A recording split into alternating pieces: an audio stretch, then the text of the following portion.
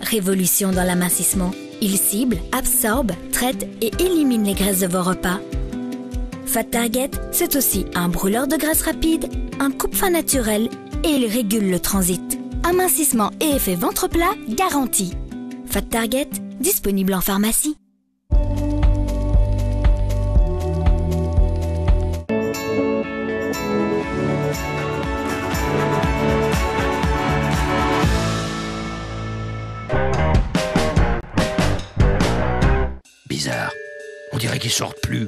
S'il n'y a plus personne dans les rues, comment on va faire Le donc dîner devient une évidence avec HelloFresh. Créez chaque semaine votre menu parmi 20 nouvelles recettes. Choisissez ce que vous voulez cuisiner et nous livrons tout ce dont vous avez besoin. Avec HelloFresh, c'est sûr, tout le monde va se régaler. Chaque semaine ou quand vous le voulez, commandez votre box en un clic sur l'app ou sur le site. Dînez avec HelloFresh.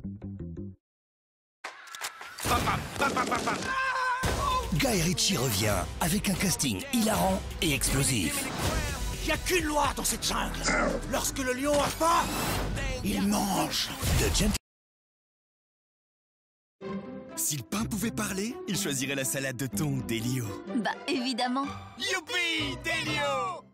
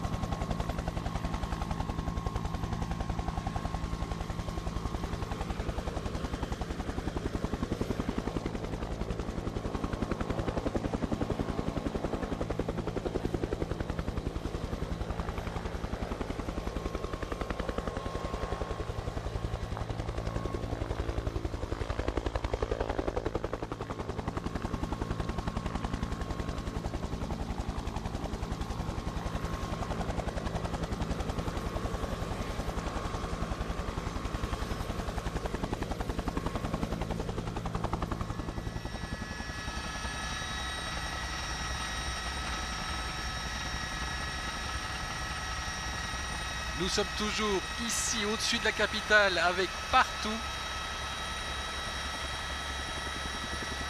Nicolas, je suis prêt quand tu veux.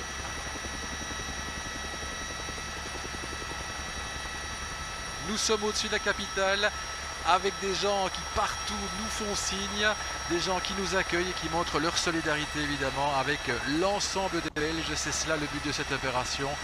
Vue du ciel, et vue du ciel, on voit à quel point les gens sont ensemble, se lient, se relient et pensent les uns aux autres. La capitale, magnifique bien sûr. Nous avons vu l'atomium, nous allons petit à petit aller vers la Grand Place. Nous sommes ici le long du canal avec euh, la Credit Bank, la KBC, son siège, avec euh, de magnifiques immeubles qui viennent d'être construits d'ailleurs. Et la Grand Place ici à l'horizon, euh, tout est proche, tout est proche. On voit que Bruxelles, évidemment, contient un certain nombre d'immeubles assez élevés et puis euh, plein de petites maisons. Le contraste est assez euh, saisissant. On n'avait jamais, jamais vu notre capitale comme cela. Nous allons donc vers la plus belle place du monde, cette euh, grande place de Bruxelles, qui a connu euh, toutes les vicissitudes de l'histoire, évidemment, a détruite complètement en 1695 par les troupes françaises, nous la voyons ici. L'hôtel de ville, lui, est resté intact et il est toujours fièrement en train de trôner sur donc cette place que des volontaires, des corps, ils sont là spécialement pour vous en gardant les distances. C'est la police de Bruxelles avec leur combi et un message que vous découvrez. Courage, tous ensemble. Velmout Samsterk, évidemment, en français néerlandais. Merci Danku. C'est un très beau geste hein, de la police de Bruxelles, très symboliquement, au milieu donc de cette place que tous les visiteurs choisissent en priorité quand ils arrivent et visitent notre capitale. On voit des policiers euh, recueillis. Ils ont un rôle évidemment tout à fait essentiel hein, pour lutter contre cette épidémie, parfois parce que évidemment il faut maintenir l'ordre, il faut contrôler. C'est aussi une présence rassurante. On voit également des stewards, bref, différents services publics sont réunis pour vous, pour nous.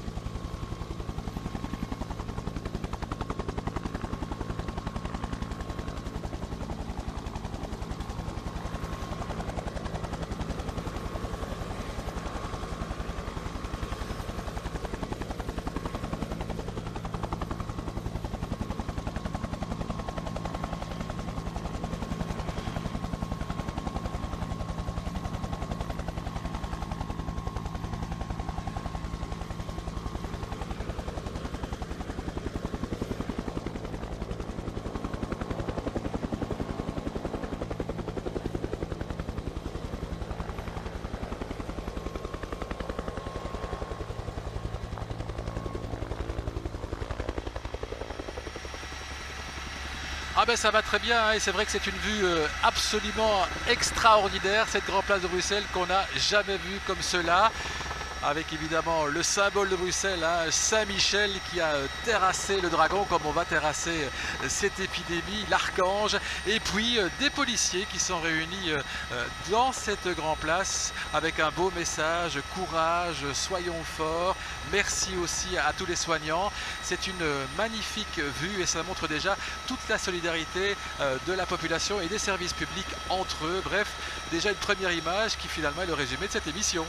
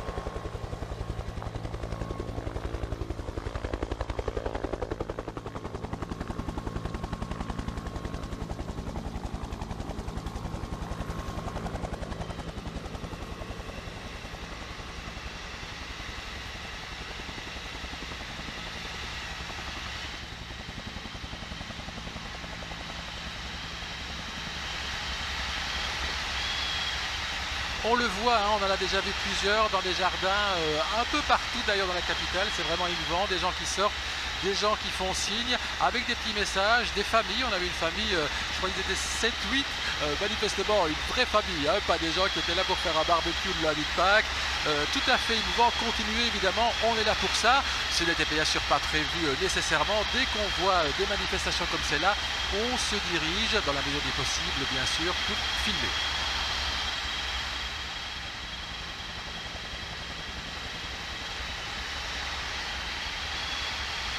Tout à fait, on va vers Saint-Pierre, hein, l'hôpital Saint-Pierre à Autigny, et on voit euh, cette verdure partout. Hein. On a la capitale la plus verte d'Europe, nous dit-on, et on le constate ici, vous voyez des arbres partout. C'est ça le poumon vert, c'est ça aussi peut-être qui nous sauve, qui nous sauvera en tout cas.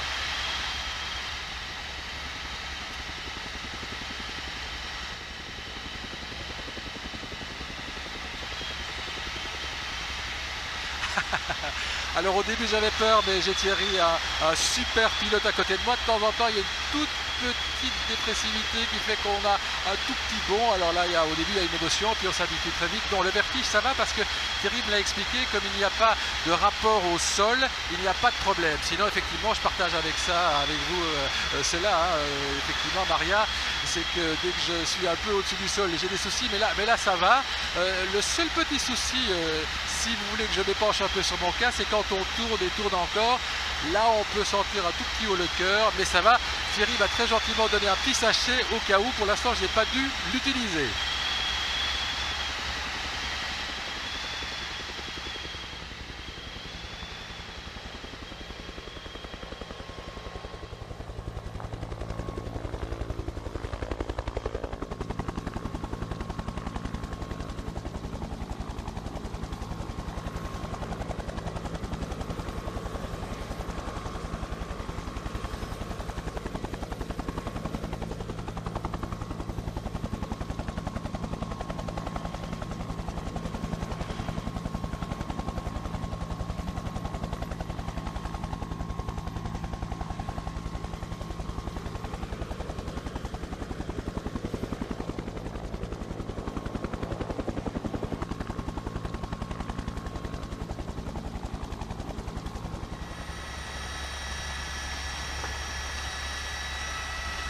Nous sommes en direction du Brabant Wallon. Je ne peux pas vous dire exactement où on est. Thierry peut peut-être me, le, souffler. Mais ce qu'on constate ici, c'est une manifestation tout à fait comique des personnes qui, euh, voilà, avec deux montgolfières qui nous font euh, voir de magnifiques flammes et qui nous font signe aussi euh, très très sympa.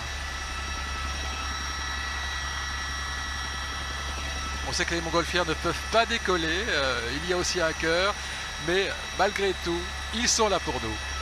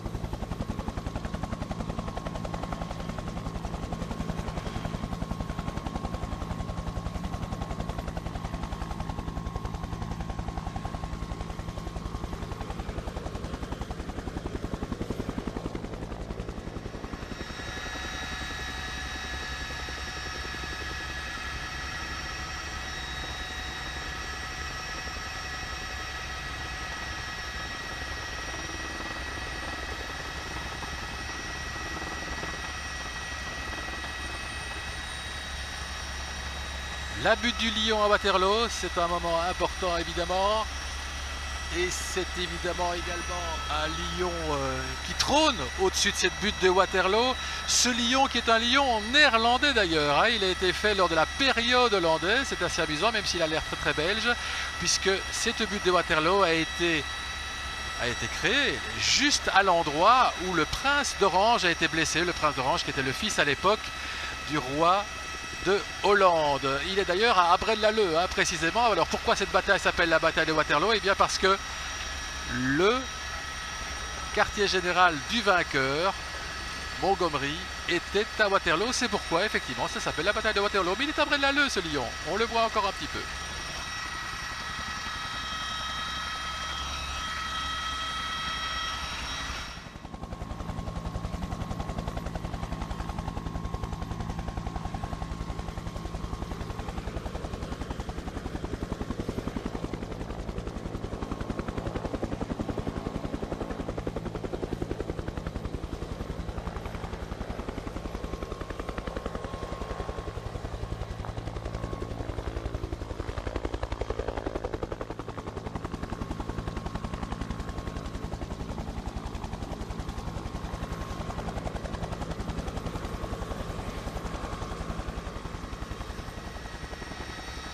Oui, tout à fait. Ici, Jean-Michel, avec euh, ce lion de Waterloo qu'on vient euh, de survoler, qu'on va resurvoler pour vous. Hein. C'est un, magnifique endroit. Alors, c'est vrai que c'est un lion qui paraît très belge. Or, il est néerlandais, puisque le lion de Waterloo a été créé lors de la période néerlandaise, entre 1815 et 1830.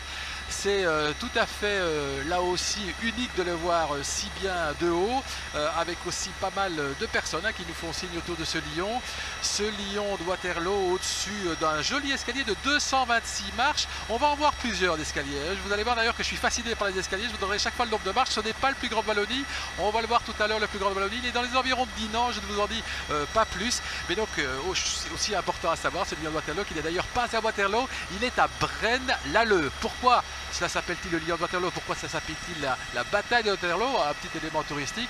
Tout simplement parce que les batailles sont généralement euh, nommées à partir du quartier général du vainqueur. Et le vainqueur de la bataille de Waterloo, c'est un Britannique, hein, Montgomery. Il avait son quartier général à Waterloo. C'est pour ça que ça s'appelle la bataille de Waterloo.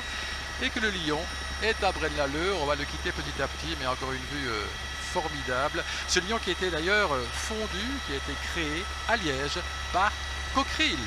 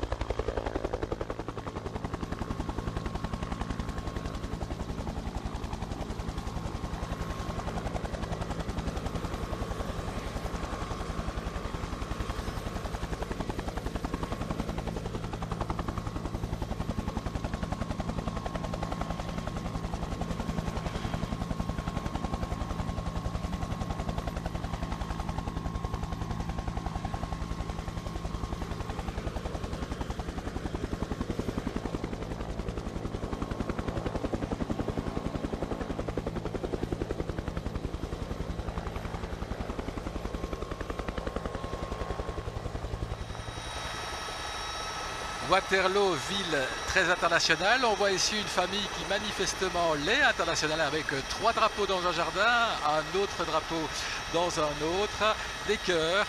Waterloo, trois voisins qui sont vraiment avec nous, qui sont avec vous, qui montrent qu'ils pensent aux soignants. On voit ici quelqu'un déguisé, je ne sais pas très bien en quoi d'ailleurs, et on voit que même le chien participe à, à la manifestation de joie. C'est une grande manifestation de joie à Bruxelles et en Wallonie qui a lieu avec cet hélicoptère qui vous survole parce que étonnamment ce virus, eh bien, ça, ça pourrait peut-être ressortir le meilleur de nous et donc le meilleur c'est aussi de montrer qu'on est heureux malgré tout.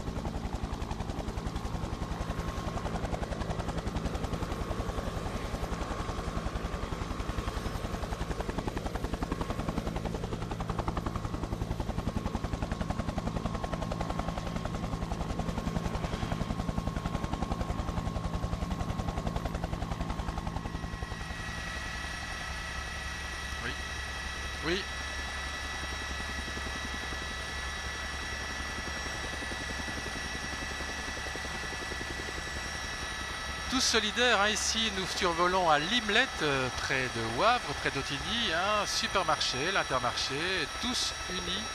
Merci. euh, C'est un message qui a été fait euh, directement avec des casiers. Euh, vous allez peut-être le voir encore mieux que moi. On le voit de très très haut. Et des gens qui nous font un signe. Le magasin pas vous dire s'il est ouvert ou pas, il y a peu de voitures en tout cas devant. Nous survolons donc euh, ce Brabant wallon euh, très résidentiel bien sûr, hein, très peu de voitures comme partout ailleurs, les consignes sont parfaitement respectées.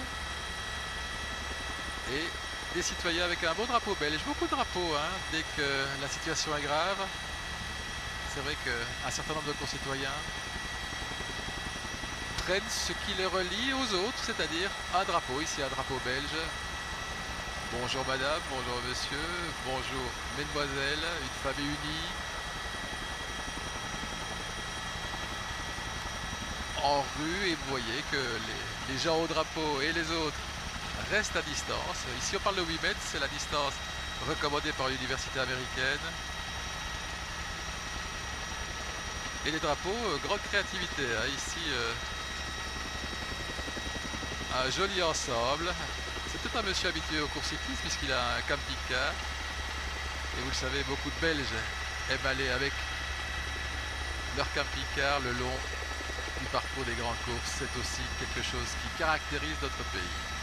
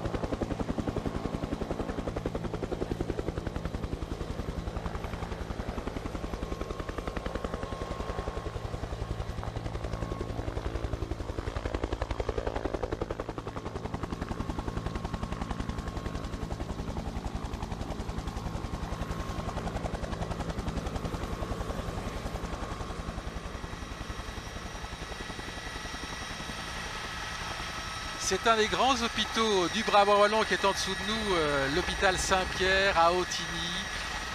Et cet hôpital Saint-Pierre qui a été fondé juste avant la guerre d'ailleurs euh, et qui euh, a évidemment subi un certain nombre de transformations, qui va d'ailleurs peut-être déménager. Mais on n'est pas là pour parler d'architecture hospitalière, mais bien des manifestations. On voit plein de soignants et on leur dit bravo nous aussi. Ici en dessous de nous, des soignants, des patients, des sympathisants j'imagine, profitent des places de parking pour garder la distance euh, réglementaire. C'est créatif, c'est bien et c'est beau surtout. C'est beau. J'imagine, hein, je ne peux pas évidemment leur parler, mais que ce sont des soignants avec leur masque.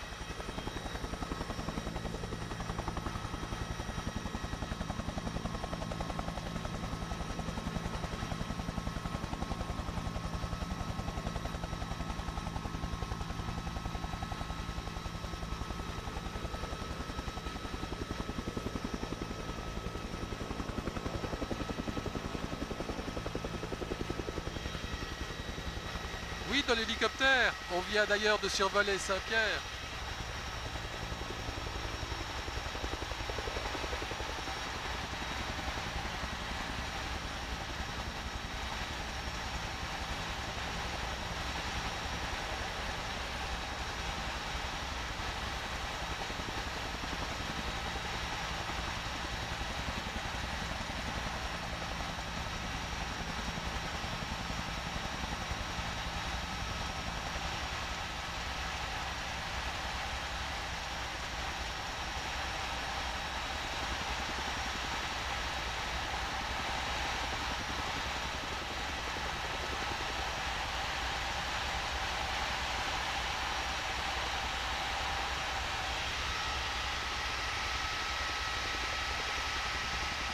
On va voir Walidi, Nicolas.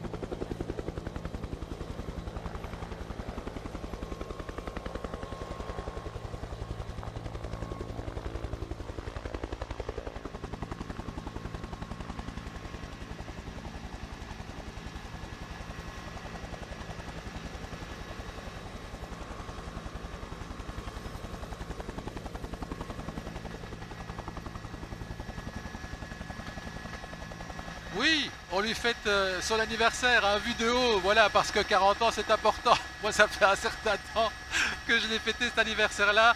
Sandrine qui est donc euh, pas loin de nous et effectivement un terrain de tennis où je pense elle soigne sa euh, condition physique et surtout son style stylistique qui paraît-il est, excellent. Voilà, donc on est, on est quasiment là, on est quasiment au-dessus de chez Sandrine. Je ne sais pas si c'est elle qu'on voit là, mais en tout cas ça ne saurait tarder.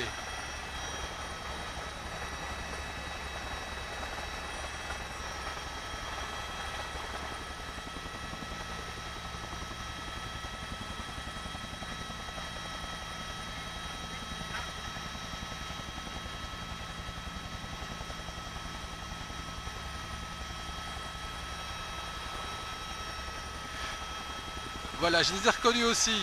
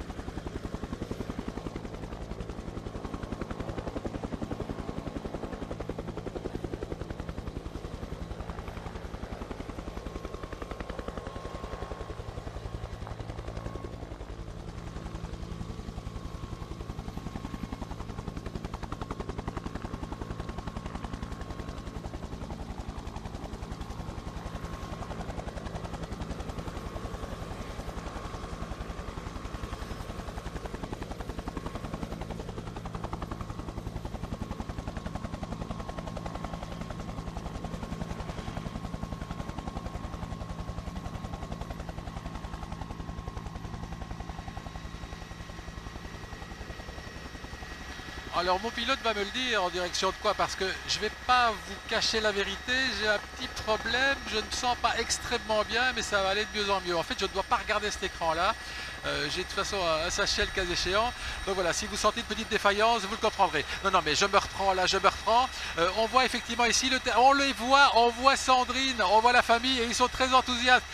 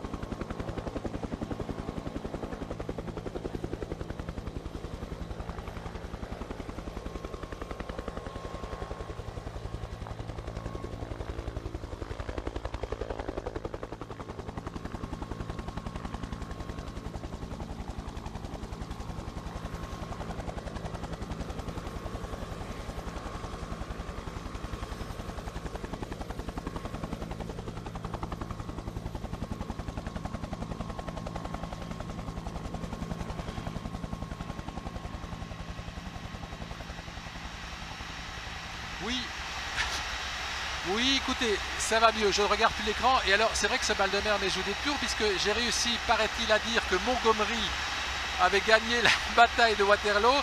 Vous m'excuserez, c'est évidemment le duc de Wellington qui l'a gagné. Montgomery, c'était plutôt euh, euh, un peu plus tard hein, qu'il a euh, réussi à, faire gagner d'ailleurs aux Alliés une autre bataille, une autre guerre, bien plus tard. Donc, je confirme bien à tous ceux qui sont un peu étonnés que c'est Wellington qui a gagné la bataille de Waterloo. Voilà, c'est l'effet sans doute un peu, un peu étonnant de, ce mal de l'air qui est en train de passer petit à petit parce que là, on est reparti en ligne droite c'est vraiment euh, le petit souci quand on fait des tours, et puis un deuxième tour, et puis un troisième tour, et puis un quatrième tour. Et là, au cinquième tour, ça commence à aller un peu moins bien. Mais je n'ai absolument pas à plainte parce que ce qu'on voit, c'est fantastique. Et puis on vient de m'ouvrir une petite fenêtre pour que j'ai un peu d'air, ça fait du bien. Et donc vraiment, quand je pense aux soignants qui, eux, sont jour et nuit euh, en train de faire en sorte qu'il y ait moins de victimes possible, et bien je dois dire que mon petit souci passager n'est vraiment qu'une toute petite, minuscule péripétie.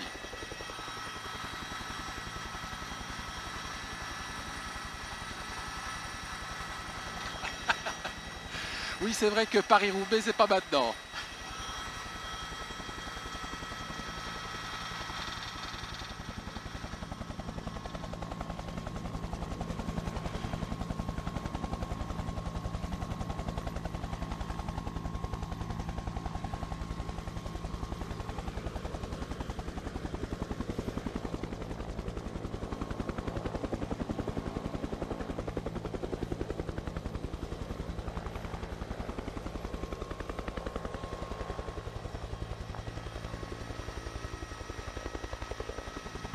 Ce Brabant wallon solidaire, ce Brabant wallon qui se mobilise, ce Brabant wallon qui veut montrer qu'il est là lui aussi, un message dans un jardin, un message que je vous laisse lire, parce qu'on m'a déconseillé de regarder à l'écran et qu'on est un petit peu trop pour le distinguer, mais toutes ces maisons individuelles, il y en a beaucoup évidemment au Brabant wallon, on a la chance dans cette province d'avoir pas mal de jardins, et bien ces jardins sont décorés pour montrer qu'on est ensemble, tous ensemble, tous ensemble, oui, oui.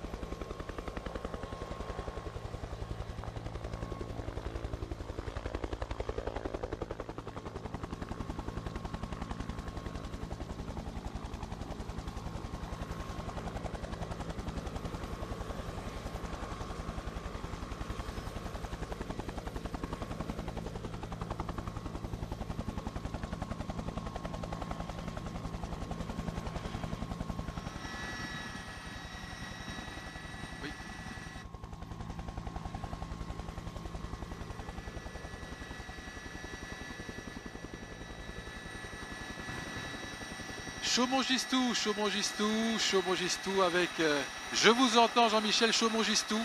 Verte campagne, c'est vrai, Chaumont-Gistou euh, avec des messages sur euh, de beaux draps, des cœurs qui sont tendus par, des personnes dans un jardin. C'est très joli, on va les découvrir ensemble. Ce sont manifestement des portraits, des portraits d'enfants de la commune, des messages qu'on a parfois un peu de mal à voir, mais en tout cas des familles Coucou à tous, on vous fait aussi un grand coucou qui sont euh, réunis pour nous faire signe.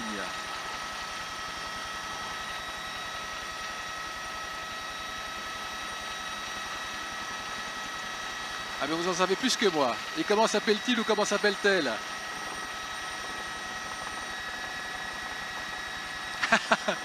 Voilà. Et ici, dans la région, il doit être membre du mouvement réformateur. À mon avis, on ne se trompe pas beaucoup. Oui, ben, je les regarde chaque fois, évidemment.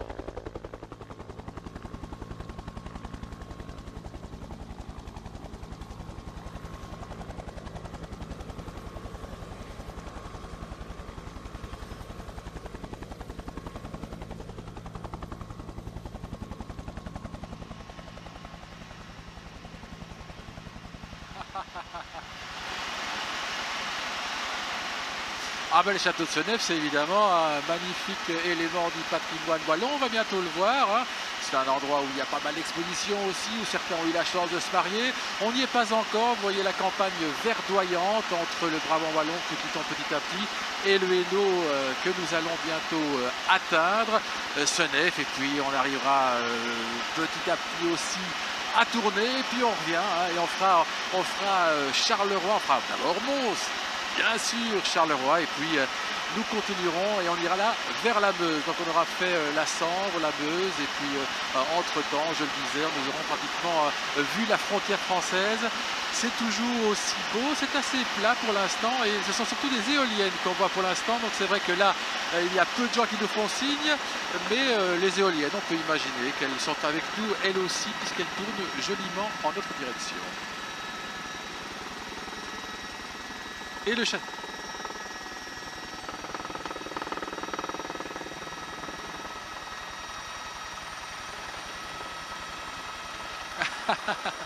oui, puis on a fait un petit euh, ravitaillement.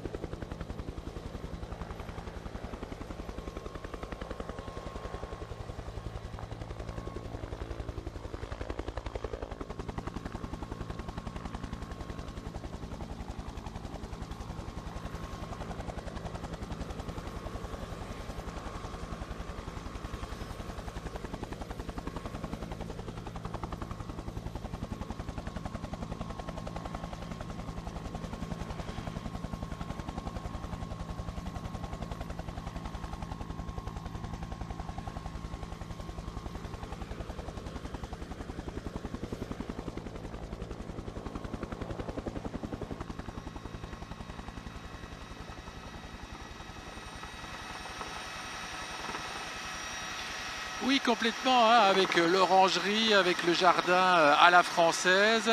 avec euh, des tas de souvenirs pour des tas de gens. hein. C'est surtout dans l'orangerie euh, que on s'est beaucoup marié euh, en Wallonie et certainement dans la région ici du centre et plus globalement Charleroi aussi. Peu de gens bien sûr, hein, même s'il y a quelques promeneurs qui bravent la température qui s'est rafraîchie. Mais je constate quand même que le soleil, là vous le voyez, hein, ce n'est pas une vue de l'esprit. Le soleil luit, on voit les toits qui luisent, on voit la campagne qui luit, on voit euh, les toitures grandes et jolies de ce château qui là, là, là aussi luisent.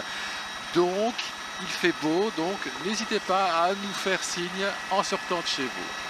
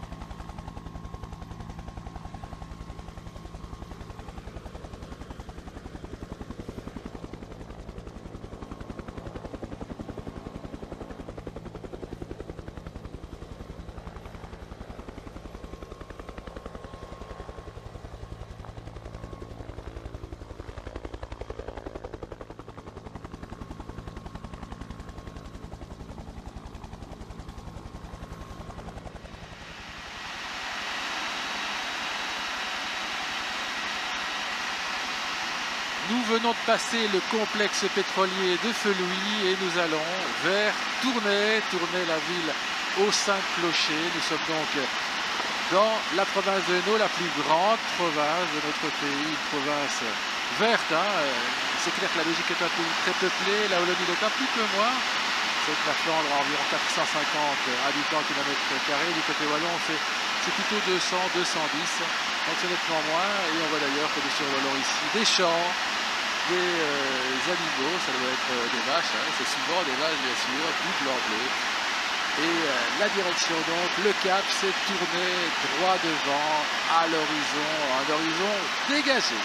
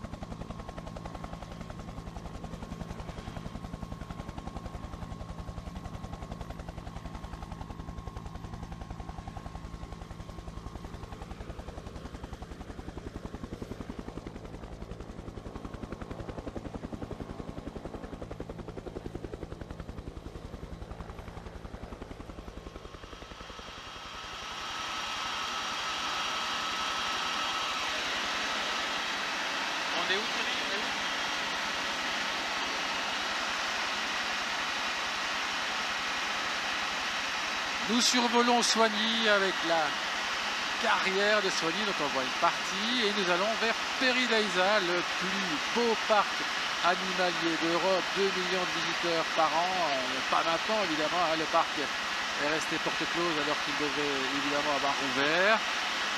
Nous ne survolerons pas Peridaisa, on va effrayer les animaux, mais on y arrive bientôt.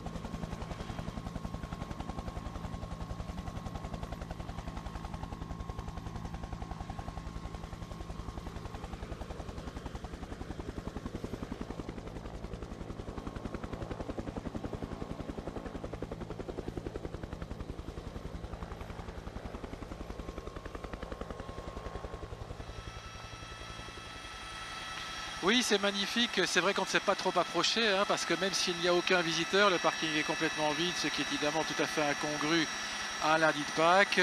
Les animaux sont toujours là et on le voit donc de loin, hein, cette ancienne abbaye de Cambron-Casteau qui était euh, grâce à Eric Dombe et puis maintenant effectivement euh, Jean-Jacques Cloquet qui est devenu le plus beau parc animalier d'Europe. Hein, c'est un parc qui, euh, remporte ses distinctions année après année. Et donc c'est en plein milieu d'un écrin euh, de verdure, hein, ici aux alentours de, de de Brugelette. Nous sommes au cœur du Hainaut, du Hainaut vert, très vert, la plus grande province de Wallonie. Et on voit ici un enclos euh, avec des éléphants. Et oui, il y a des éléphants en province de Hainaut.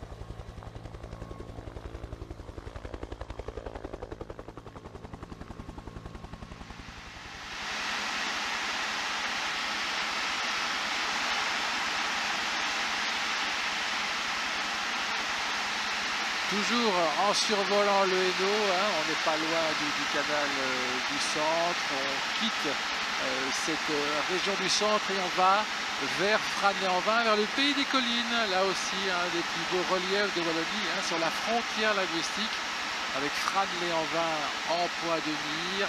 C'est un endroit magnifique pour faire du vélo, on en verra peut-être, hein, on va le découvrir dans quelques instants très verdoyant ce magnifique pays des collines qui porte très bien son nom.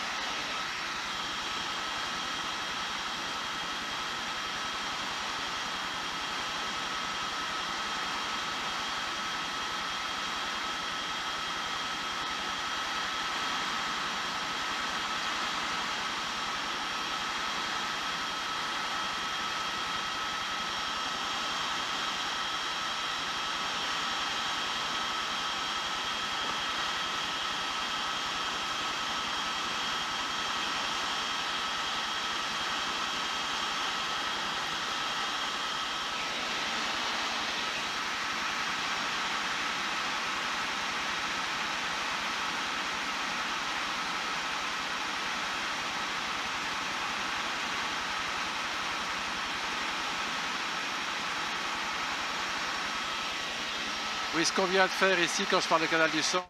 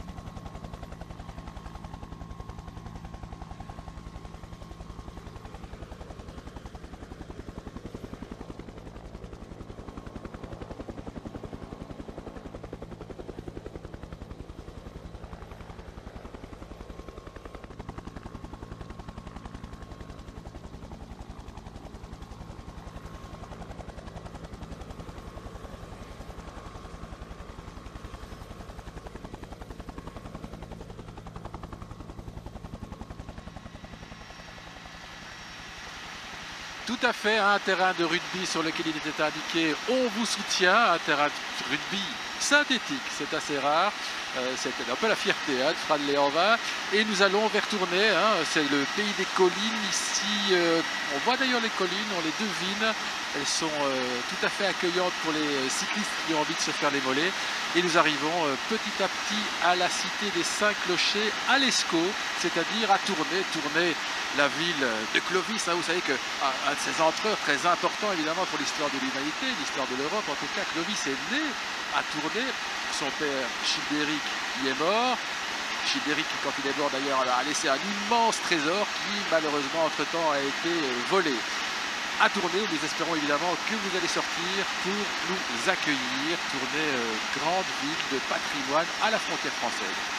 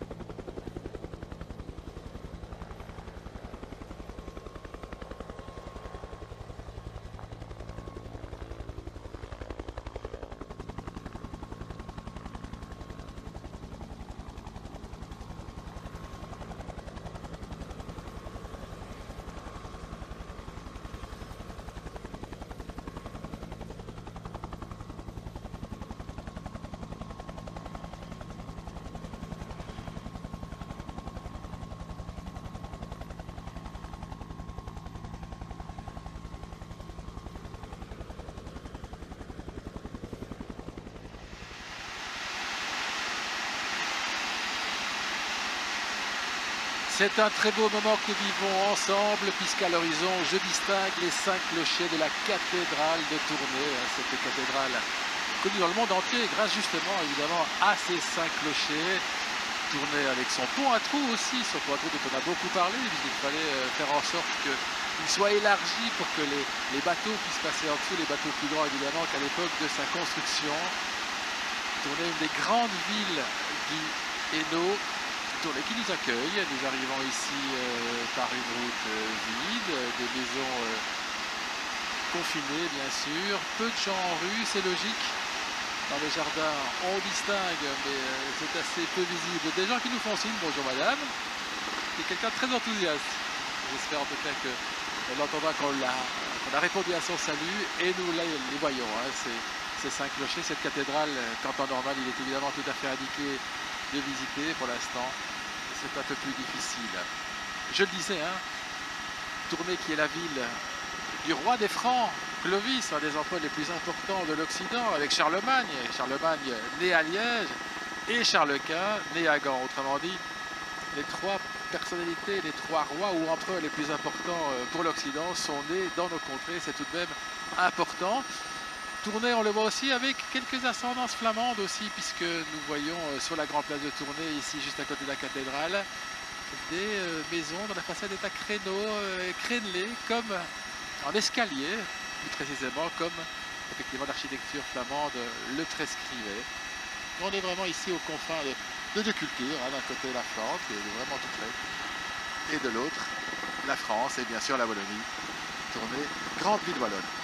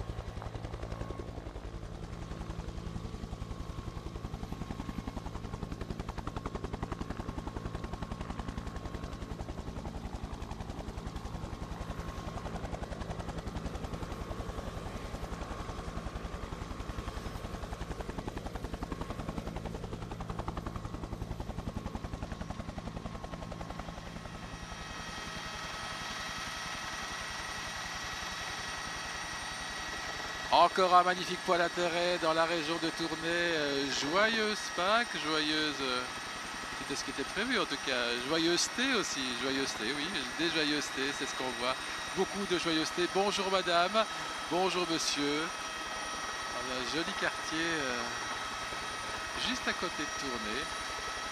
Une rue en fête cet après-midi heureux aussi qui, sait évidemment que l'épidémie ce n'est pas que de la fête mais il s'en a sort de pause avec l'hélicoptère de RTL qui passe au-dessus de chez vous merci pour cela.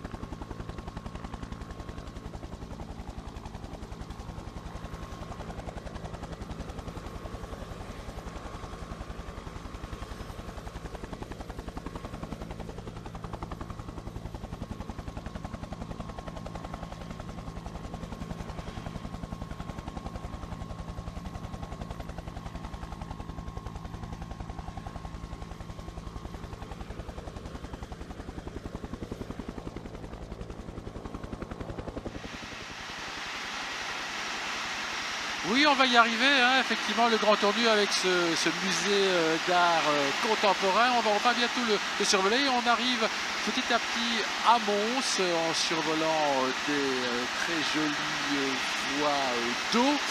Mons que je distingue là à l'horizon avec quelques usines autour de ville. Heureusement qu'il y a des usines, on voit déjà les terris. Hein. On arrive dans cette région qui a fait la richesse de la Wallonie avec les charbonnages, avec des industries à gogo.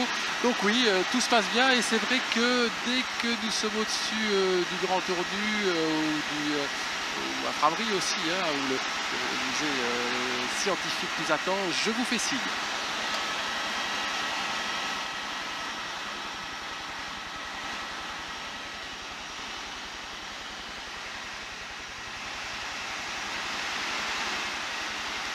Parce qu'il y en a plein qui sont inattendus. Hein. On vient encore de, survoler des gens qui nous font signe avec plein de drapeaux dans, le jardin.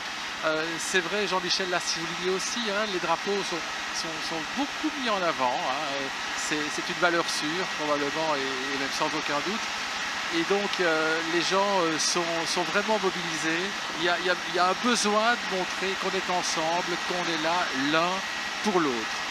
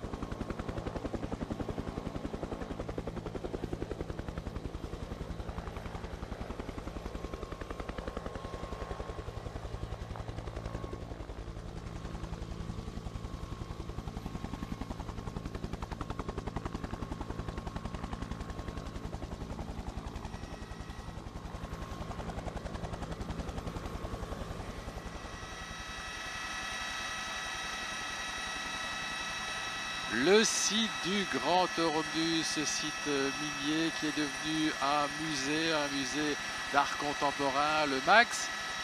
Et le Max nous a préparé une belle réception. Oui, j'allais dire évidemment le Max et le Max, mais j'ai quand même essayé de résister. Zut, je l'ai fait. Une très très jolie réception avec euh, des visiteurs qui ne peuvent plus entrer dans le musée. Tous les musées sont fermés, vous le savez. Qui nous montrent là aussi qu'il y a des super-héros, que les super-héros, il faut les remercier, que les super-héros, eh bien, ils ont euh, une croix blanche sur fond rouge, c'est la croix rouge, c'est tous nos soignants. Des ballons aussi euh, qui sont euh, lancés, qui sont libérés au max, des ballons blancs, des ballons blancs, les ballons blancs de l'espoir.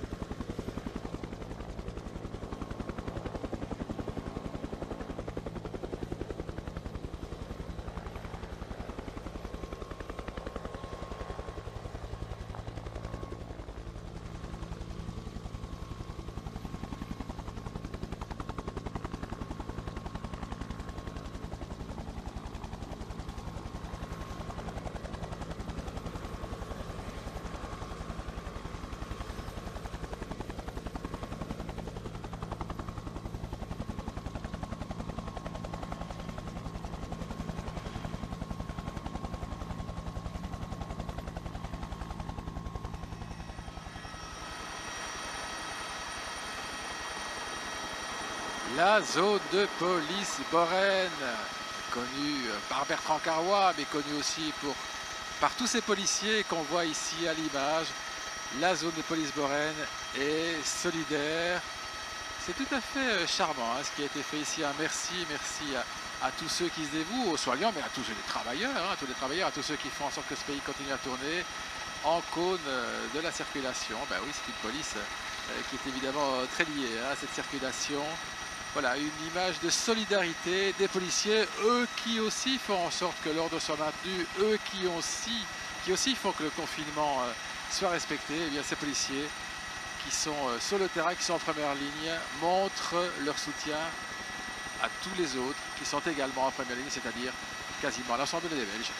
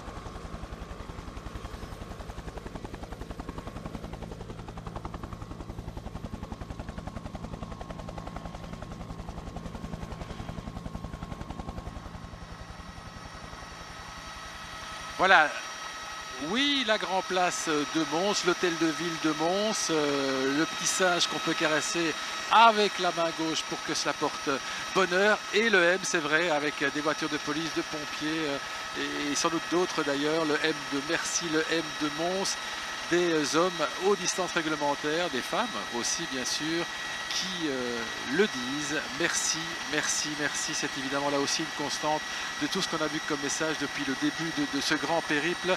Cette place de Mons qui est une des, plus belles places de Wallonie, une des plus belles places de Belgique, euh, qui malheureusement sera privée de, doudou, hein. euh, ce qui est évidemment tout à fait important pour les Montois. On sait, j'ai eu l'occasion d'une fois vivre le doudou. J'ai cru d'ailleurs que je n'en sortirais pas tellement il y avait du monde. C'est la seule fois de ma vie que j'ai vraiment cru que j'allais être étouffé. mais bon, les Montois ont cette faculté de, toujours s'en sortir et on s'en sort là aussi. Ils vont s'en sortir également de ce virus. Et c'est vrai que c'est une très très belle scène hein, qui se passe devant nous. On entend aussi de la, musique. Voilà, c'est Mons, c'est Mons, c'est l'esprit montois, l'esprit du doudou.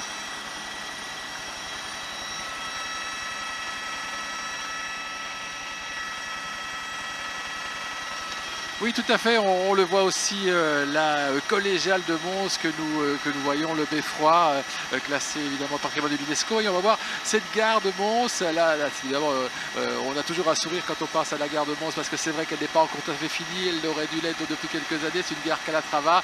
Mais bon, là aussi, elle le sera. On parle de 2021, 2022. On y arrivera toujours. C'est ça aussi à la Wallonie. C'est parfois un tout petit peu plus lent qu'on ne le voudrait, mais on y arrive. Et pour le virus, ce sera la même chose. C'est vrai qu'on voudrait en être sorti. C'est vrai que les, euh, grands spécialistes nous disent bah, il faut bâtir l'effort parce qu'on n'en sort peut-être pas aussi vite qu'on l'aurait cru. Mais ça arrivera, on y arrivera. On voit le stade d'ailleurs, je ne sais pas si on le voit à l'image, mais en tout cas moi je le vois le stade de, de Mons, le stade de football de cette équipe qui a joué longtemps en Division 1.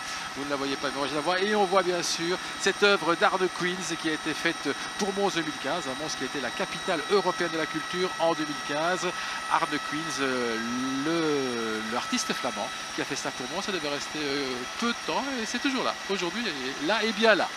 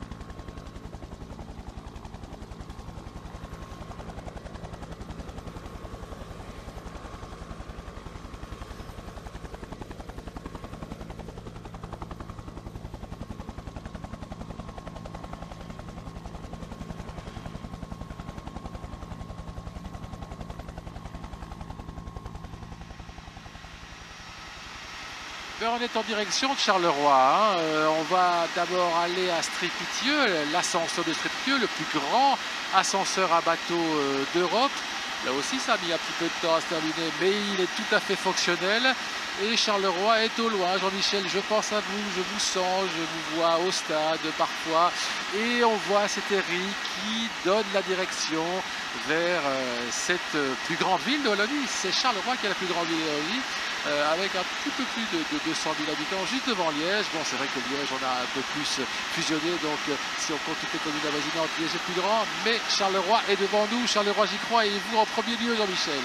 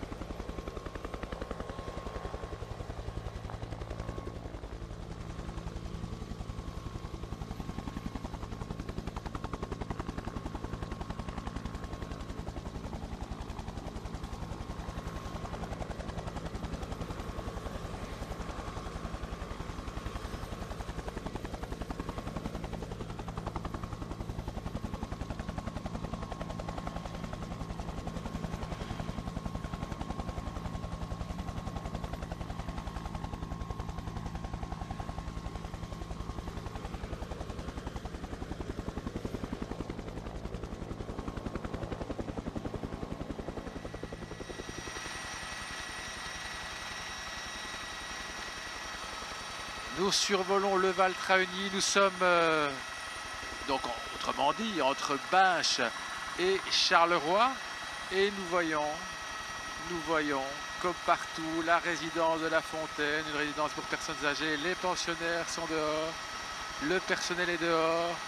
Et c'est émouvant, c'est très émouvant, surtout qu'on sait que les victimes continuent malheureusement à s'aligner dans les maisons de repos. Encore deux tiers des victimes viennent de maisons de repos aujourd'hui et c'est donc d'autant plus magnifique et émouvant de voir ces personnes âgées qui sortent avec le personnel qui les soutient et qui nous salue. Je vous avoue que j'ai du mal à trouver les mots tellement je suis, ému. Euh, je ne connais pas la situation particulière de cette maison de repos. J'espère évidemment que le virus n'est pas encore entré dedans. Et en tout cas, on leur fait un très très gros bisou.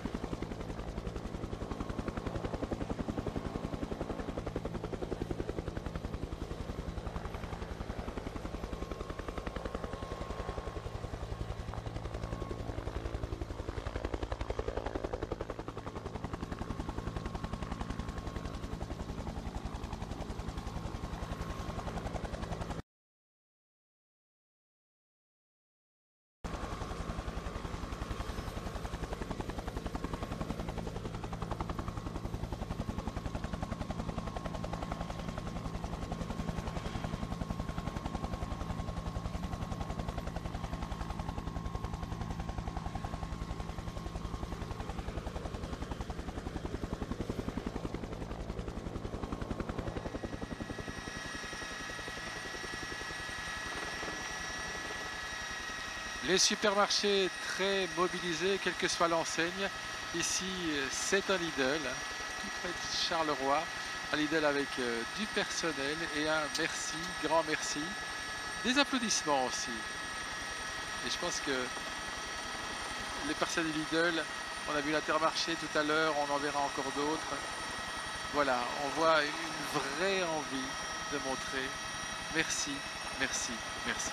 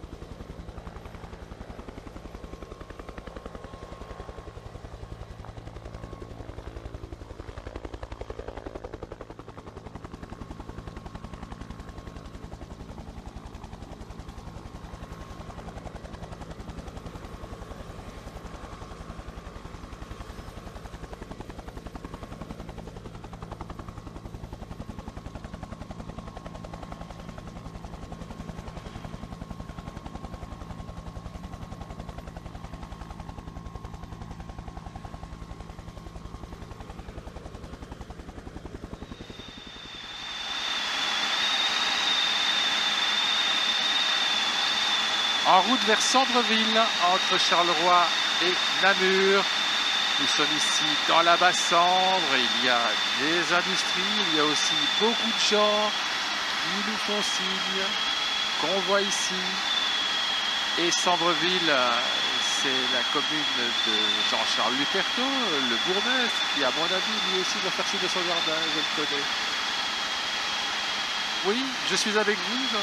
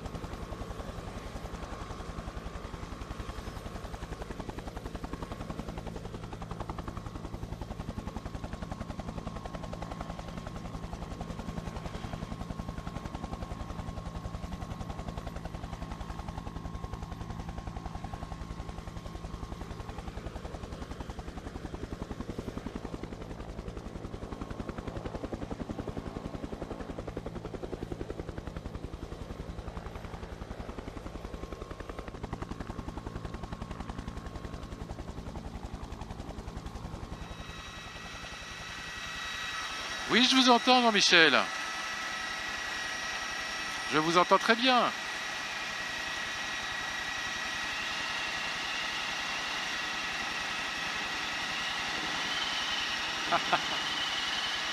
Alors j'aimerais bien, Jean-Michel, j'aimerais bien, mais malheureusement il est derrière nous, le stade du pays de Charleroi.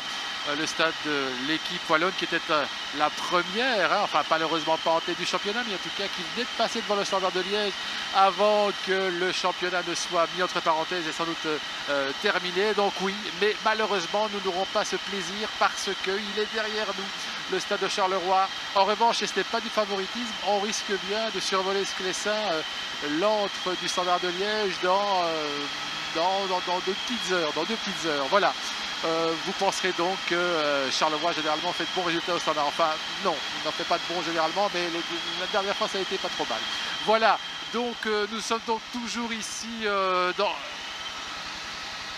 Non, non, je suis neutre, je suis absolument neutre. J'aime toutes les équipes de division 1, mais surtout, surtout celles que vous venez de citer. les deux, évidemment. Voilà.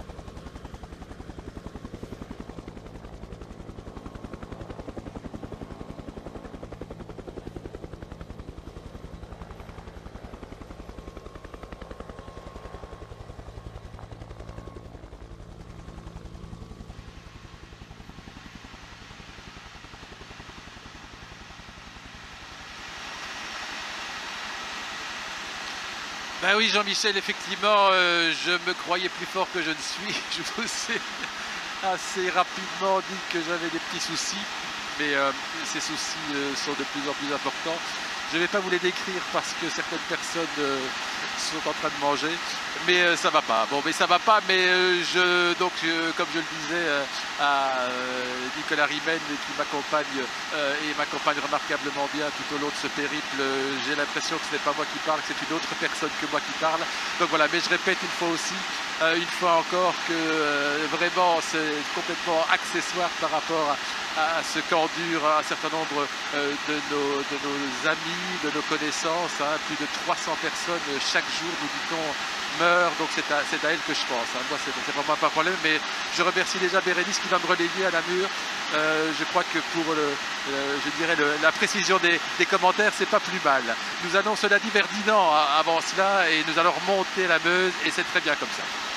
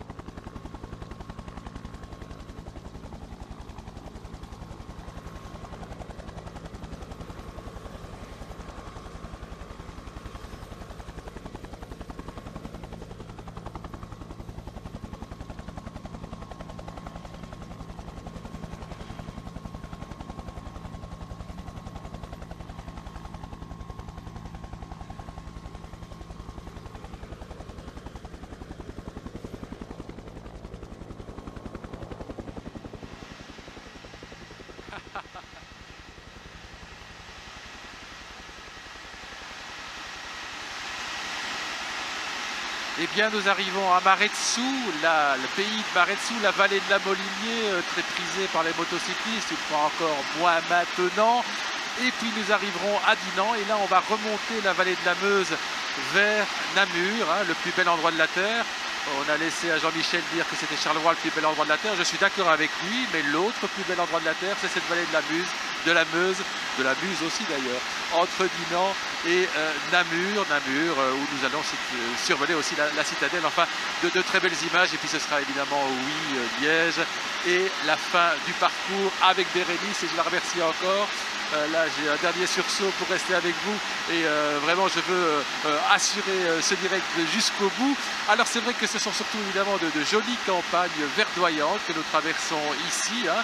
C'est là qu'on voit que la, Wallonie, c'est aussi beaucoup, beaucoup d'espaces verts. C'est un tourisme vert, c'est un tourisme qui risque d'ailleurs de, bien fonctionner après le déconfinement, puisque au moins quand on se promène en Wallonie, on n'est pas à 50 000 au même endroit, il y a de l'espace, on peut donc garder ses distances sans aucun problème. Euh, les spécialistes du tourisme wallon me disaient que l'avantage des grandes forêts wallonnes, c'est là aussi qu'il y a plein de petits chemins, qu'il n'y a pas trop de monde et que donc véritablement le futur du tourisme qui se passe chez nous. Peut-être donc ce tourisme qui est euh, actuellement, qui représente environ 5 à 6% de, notre produit intérieur brut wallon pourrait encore se développer. Euh, à toute chose, malheur est bon, même si euh, on pense surtout au malheur pour l'instant. Mais bon voilà, il y a quand même des perspectives d'avenir, c'est aussi important. Et donc je vous le disais, un paysage très ballonné, très verdoyant, la vallée de la Molinier, qui va donc ensuite succéder à la vallée de la Meuse et ses magnifiques falaises. Maretsu est en point de mire, hein, ces pierres euh, grises. Maretsu qui est une des abbayes, qui est même euh, sans aucun doute l'abbaye la plus visitée de Wallonie avec euh, des visites tout à fait sympathiques. Je ne sais pas si vous l'avez déjà fait, euh, Maria et Jean-Michel, euh, mais ça vaut la peine.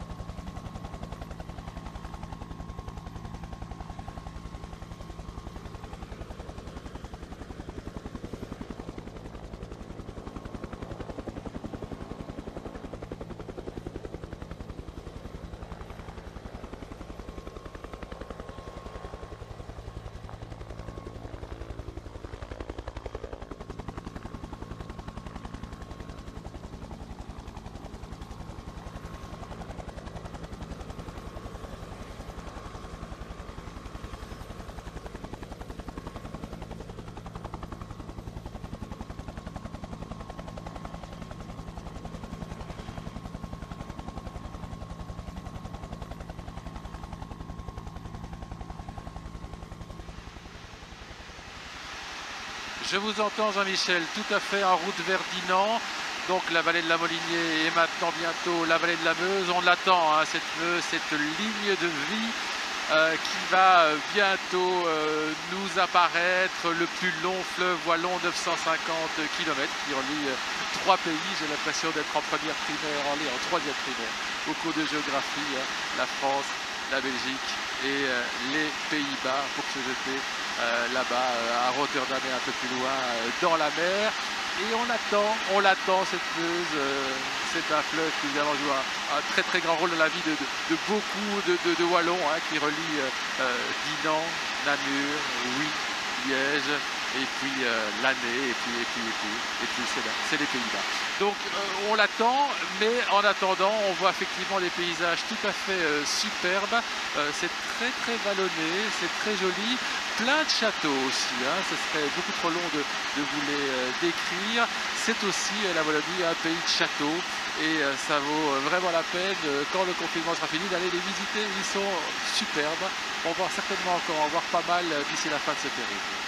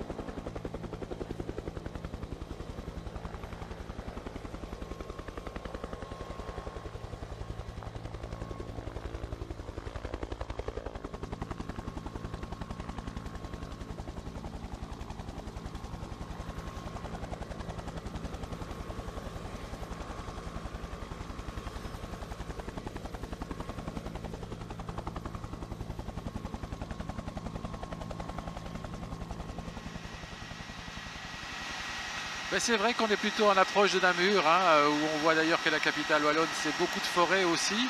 Puisqu'on est, on est à Namur, on va arriver à, à Templou, euh, l'aéroport de Namur. À Namur, on dit l'aéroport international de Namur, mais on va plutôt être modeste, l'aéroport de Namur, où on va, on va se poser euh, et où effectivement euh, Bérénice va, prendre le relais. Donc voilà, la capitale wallonne, on n'a pas encore vu la citadelle, mais j'espère qu'on aura l'occasion de la voir. Ce serait quand même dommage hein, euh, de passer à Namur et de ne pas la voir. La deuxième plus belle citadelle du monde d'après l'UNESCO. Il faut quand même le, le préciser. La citadelle de Namur, qui n'est cela dit pas si vieille que ça, hein, 80 à 90% de la citadelle de Namur date de la période néerlandaise, autrement dit entre 1815 et 1830, quand les Hollandais ont décidé de refaire des citadelles pour empêcher les Français qui avaient euh, tenté à Waterloo de, reconquérir l'Europe, et bien pour les empêcher définitivement d'avoir des velléités euh, conquérantes. Donc effectivement, ce n'est pas la ville pour l'instant, c'est plutôt la campagne. Spi n'est pas loin avec l'homme de Spi, hein, euh, l'homme de Spi, le, le Néandertalien, un des plus vieux restes humains trouvés ici dans notre pays. Donc voilà, c'est Namur, je dirais, bucolique que vous voyez ici.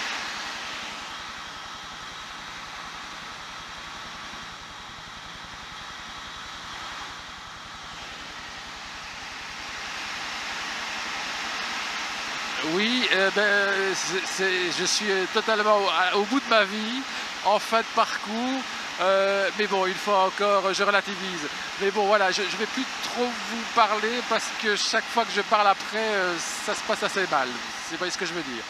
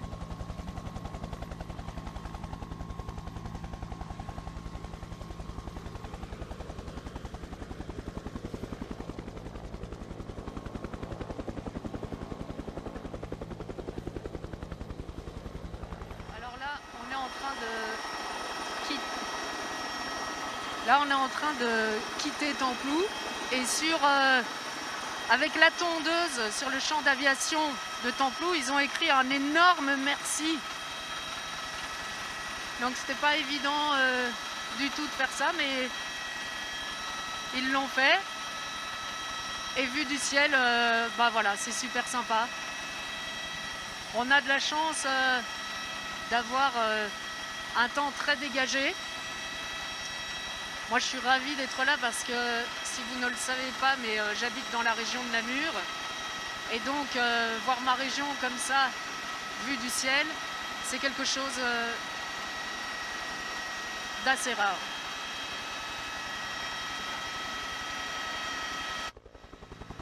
Oui Ah bah oui, oui, oui, je vous, ouais, je, je vous entends bien. Ouais, oui Alors, euh, je vais vous dire un truc. Vous savez, nous, dans, nos métiers, quand la lumière est rouge, on oublie tout. Et là, euh, voilà, je vais dire que la lumière est rouge et que j'oublie tout. Donc, dès que euh, je quitte le sol, je déteste ça. Par-dessus tout. Mais pour vous, pour tout le monde, vous avez des coupures? Vous avez des coupures en fait? Ah oui, d'accord.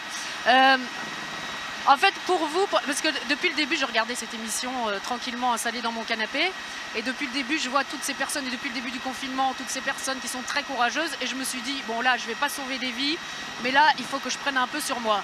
Donc, euh, je sais qu'il y a des gens qui adorent les montagnes russes, les, enfin voilà, tous ces trucs-là. Je déteste ça au plus haut point, mais c'est magnifique. Et donc là, je me suis renseignée auprès euh, du pilote parce qu'on a eu un petit euh, débriefing. pour dire est-ce que ça bouge et tout? Alors oui, oui, oui, il y a euh, y a un peu de vent, mais c'est rien, c'est que dalle, d'après lui.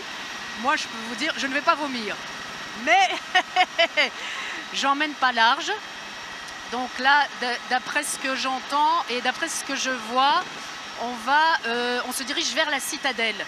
Donc ce qui est génial, c'est que oui, ce qui est génial, c'est que bah, moi j'habite ici euh, à Namur depuis quelques années, donc c'est de voir sa région là au-dessus, vue du ciel, c'est quand même extraordinaire. Je ne vois pas encore, euh, je, check, hein, si je vois des... euh, ah bah là on est au-dessus des terrains de hockey de l'Astodon, pour ceux qui connaissent. Et puis on va vers la, la citadelle et je regarde. Donc on m'a surtout dit de ne pas regarder le petit écran qui est à côté de moi. Ah là-bas il y a des gens là. Il y a des gens là dans le champ. Pilote. Ouais. Oula. Oui.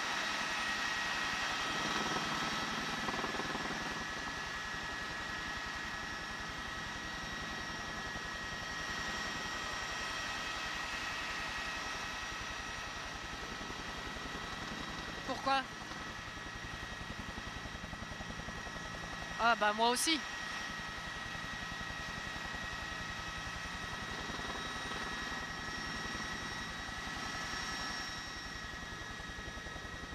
Ouais, ouais, allez-y, ouais.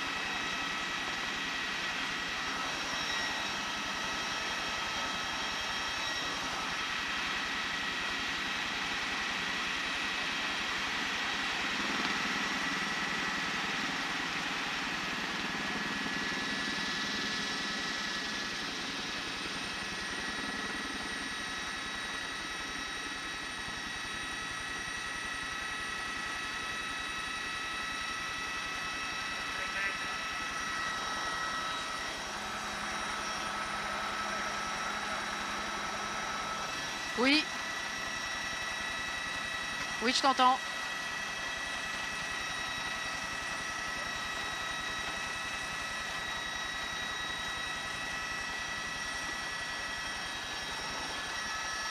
Vraiment. On est...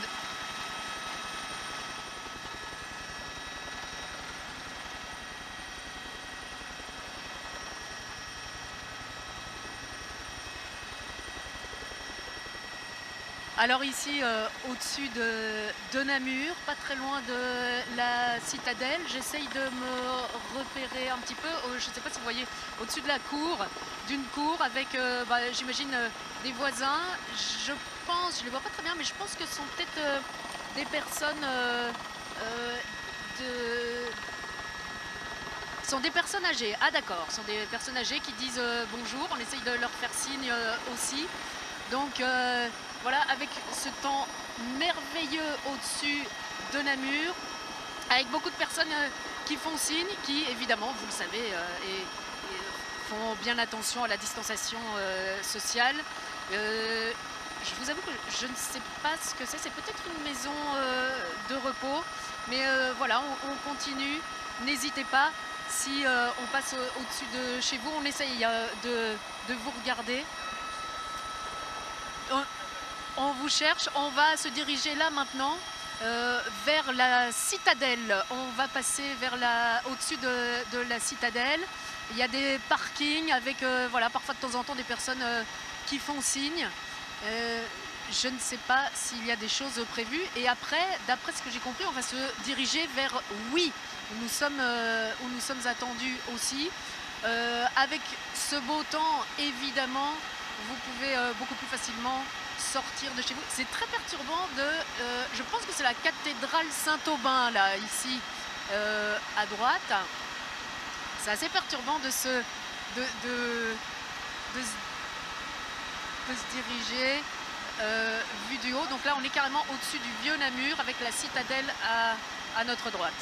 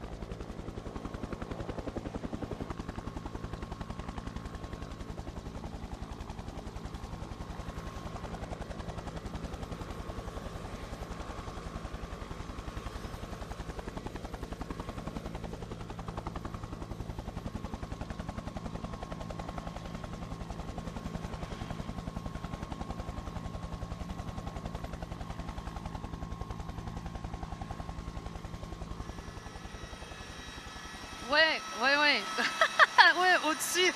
Oui, oui, c'est moi. Hé, hey, de là-haut, je vois ma maison. euh, quelque part là, et les voisins, et euh, ça sont les voisins.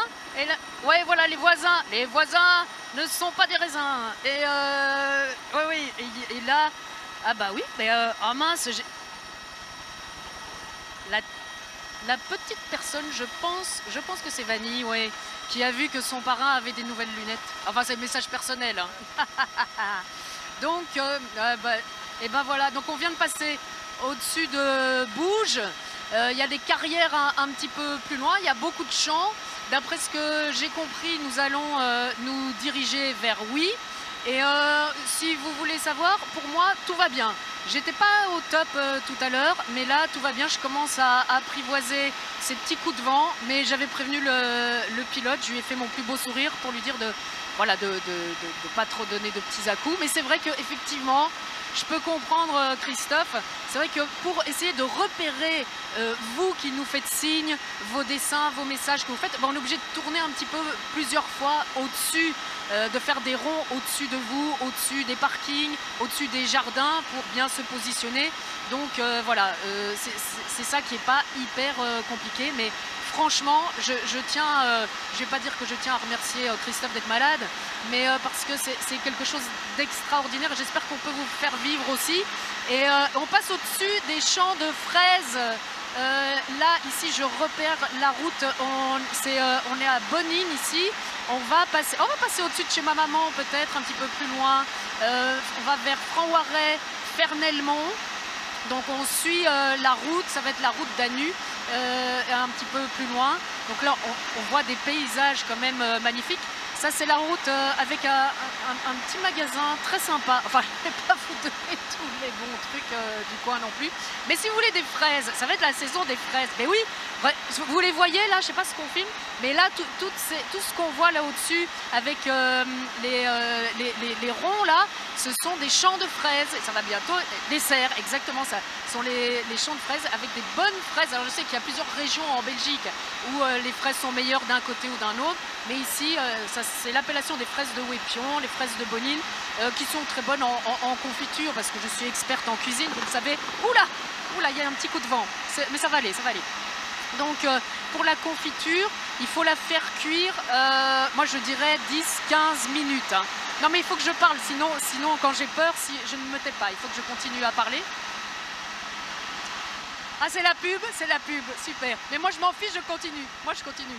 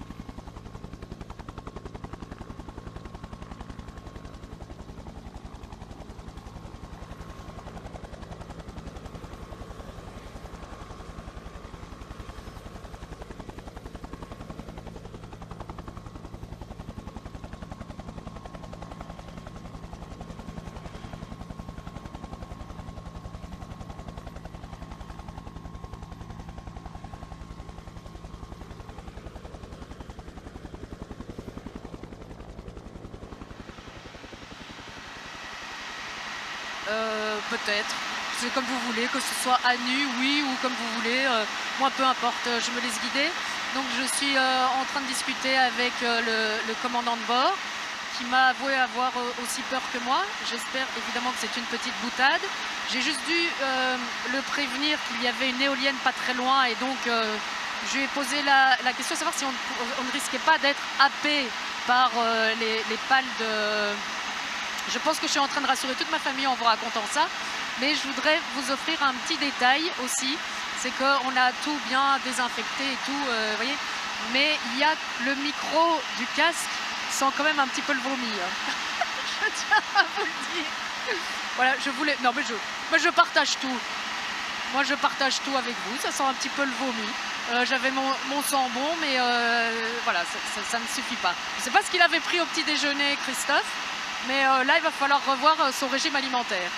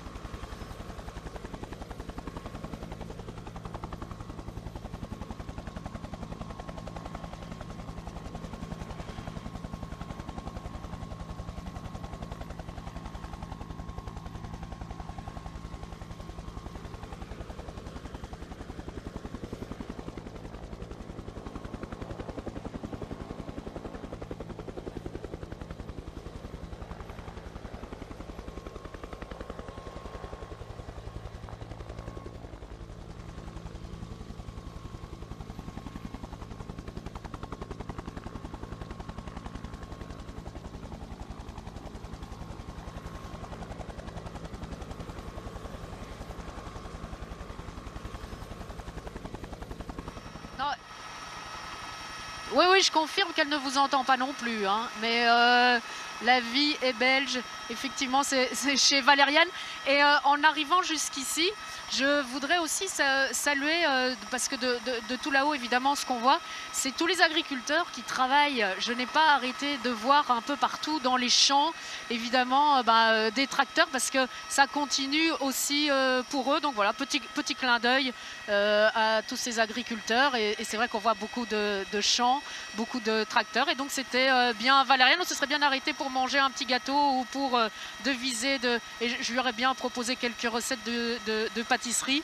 Mais euh, ce sera pour la prochaine fois parce que là, nous repartons à travers euh, les champs, les éoliennes un petit peu partout et encore des, des, tracteurs et des agriculteurs qui travaillent.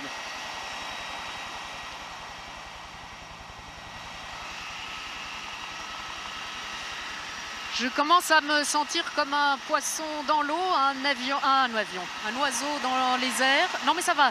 J'ai dit au, commandant, bon enfin il se prénomme euh, Thierry, c'est évidemment au moment où je le dis qu'on commence à avoir des turbulences. Oh là là là là là là là. Euh, non, jusqu'à présent ça allait. Donc j'ai dit ah Thierry, moi tant que ça bouge pas comme ça c'est bien. Donc euh, ça va. J'ai l'impression que pas de bol pour Christophe, mais c'était écrit ce matin, ça devait être euh, pire que cet après-midi. Mais là, on a un temps super méga clair. On voit vraiment très très loin. On voit là-bas, je reconnais bien, euh, j'ai plus le nom du village, mais je suis sûr que ça doit être ça. Euh, donc on voit super bien.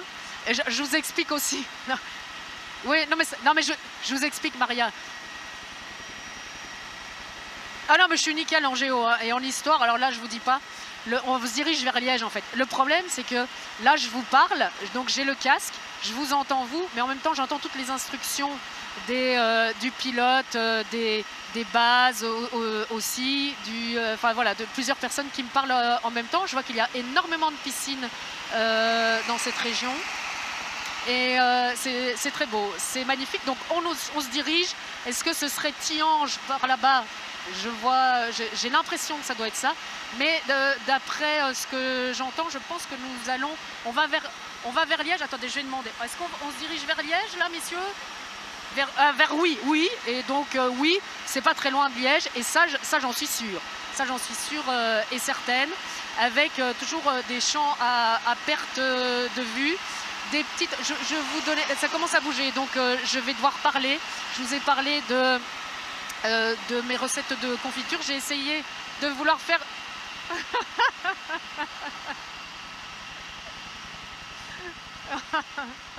je vous aurai, je vous aurai Jean-Michel, je vous aurai.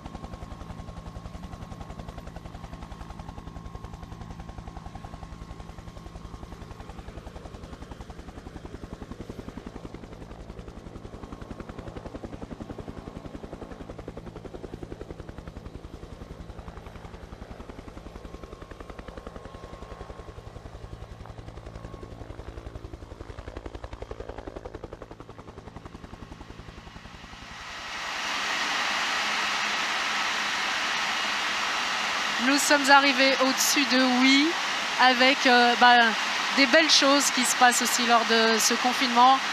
La vie euh, continue avec euh, des élans d'amour et avec de très jolies demandes en mariage.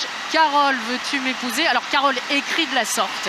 Je n'ai pas pu descendre pour savoir si Carole était un homme et donc si sa future épouse le demandait en mariage ou si c'est Carole juste sans eux et que c'était pour demander à sa dulcinée, à sa promise de l'épouser. Après, oui, eh bien, et cette jolie demande euh, en mariage. On sera tous invités, hein, ça je vous le dis. On va tous être invités dès qu'on le pourra pour faire une grande fête avec, avec euh, ces amoureux qui vont euh, bientôt unir leur destin.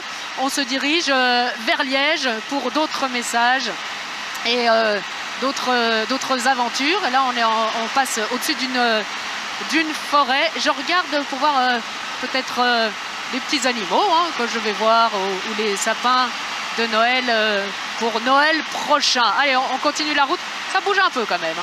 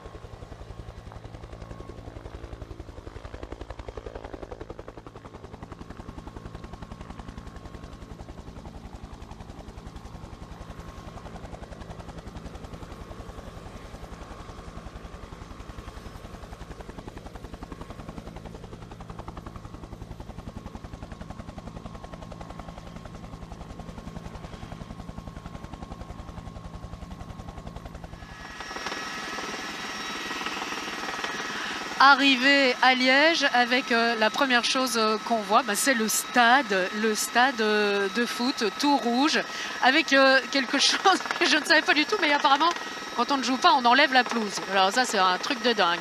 Liège, évidemment, et la gare des Guillemins, où bah, la police nous attend pour nous faire un beau message le euh, magnifique euh, bâtiment qui ressemble à, un paquebot. Je pense que c'est le bâtiment des finances qui a cette forme de paquebot et qui euh, domine la Meuse.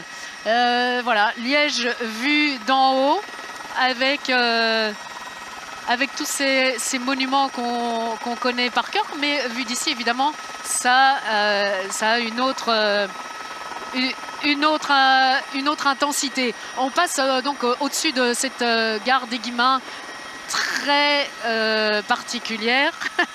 ça bouge un petit peu, hein, ça bouge un petit peu, je vous le confirme. Avec bah voilà, les, les, bords de Meuse, les ponts, la cité ardente qu'on voit. Et c'est vrai que c'est assez impressionnant. Mais voilà, si je ne parle pas tout le temps, c'est parce qu'on a euh, des informations, qu'on est euh, en liaison euh, à chaque fois avec les tours de contrôle également et les policiers qui nous attendent pour dire merci, merci à tout le monde.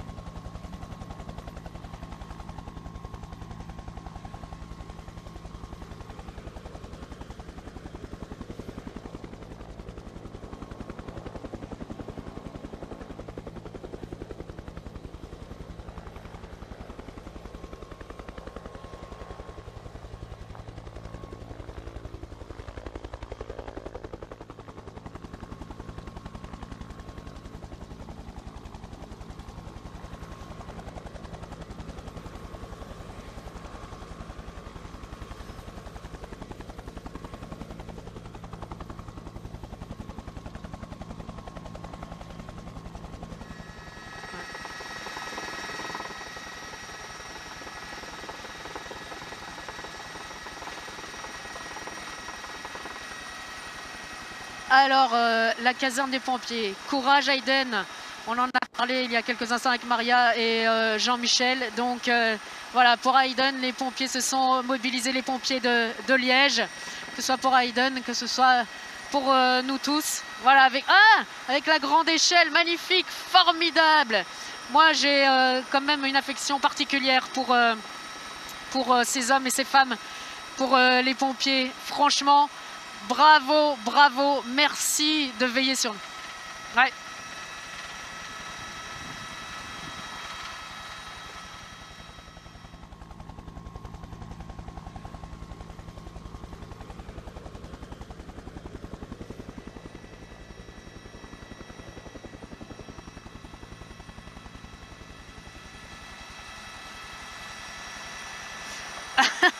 Ah là, pour être de très proche, j'ai failli euh, pu le- leur toucher la main. C'est un, message pour Aiden, euh, dont vous parliez tout à l'heure. Donc euh, la caserne des pompiers de Liège, ils se sont euh, mobilisés, ils ont mis euh, courage Aiden. Et, euh, et donc voilà, moi j'ai une affection particulière pour ces hommes et, ces femmes euh, que sont les, pompiers. Déjà en temps normal, bah voilà, il faut faire euh, attention à eux. Et euh, je voudrais les, saluer.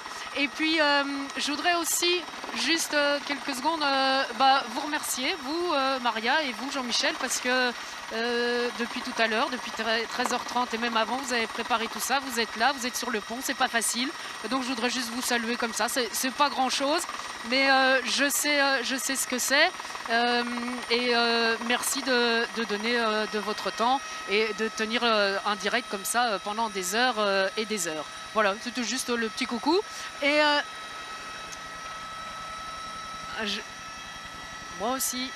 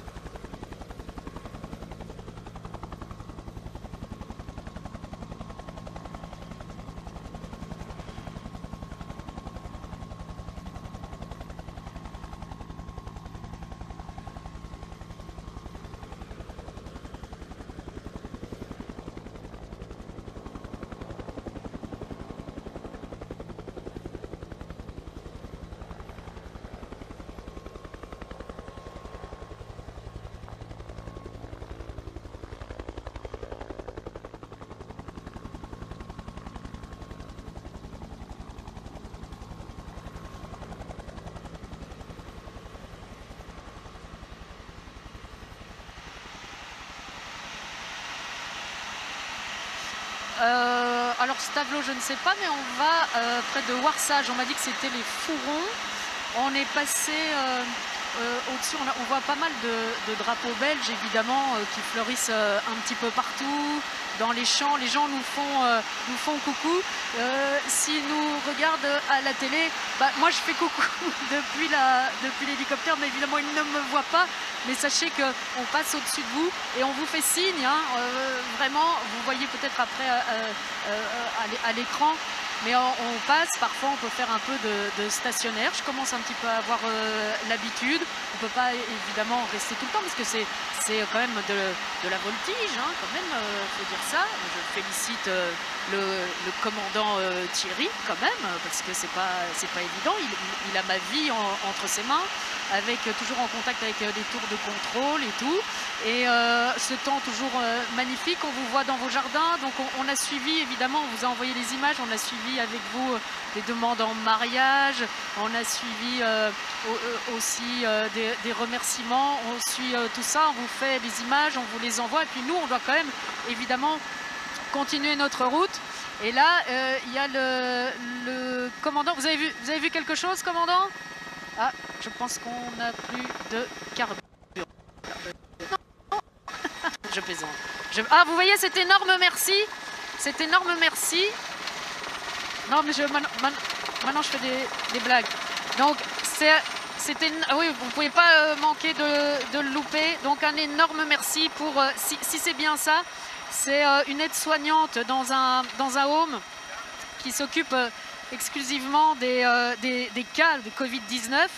Et, et ben voilà, elle, elle voudrait remercier tous ses collègues avec cet énorme merci. Je ne sais pas en quoi ça a été fait.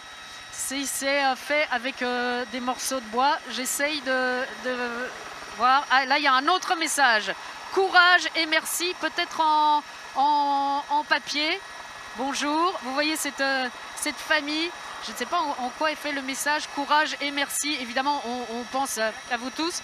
Mais il est bien attaché, hein, parce qu'avec euh, le vent que nous faisons et le, et le- le- le petit vent qu'il y a, peut-être collé dans l'herbe, peut donner des idées, un petit, un petit collage euh, sur herbe. Pourquoi pas Parce qu'on est en manque. Là-bas, a- là-bas aussi, euh, commandant, là-bas, il y a des gens. Ah, là aussi? Ah bah, dites donc, ici dans la région, vraiment tout le monde. Ah, encore un autre merci avec un cœur qui est fait en. Je, je- moi, je ne vois pas. hein, je n'ai pas. Le commandant m'a prêté ses lunettes. On se partage les lunettes. C'est. euh, avec euh, des banderoles. Vous voyez les drapeaux belges aussi. Et là-bas aussi dans le champ, on n'arrête pas. hein, on n'arrête pas, on essaye de vous faire vivre euh, tout ça. Donc on est en, train, chacun de notre côté, de regarder de part et d'autre euh, de l'appareil.